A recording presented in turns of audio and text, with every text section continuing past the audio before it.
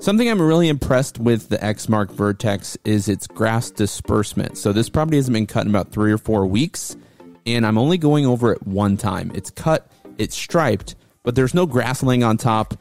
It just does a really good job at dispersing the grass. There's not a bunch of grass laying on top that's going to die and look ugly in a couple of days.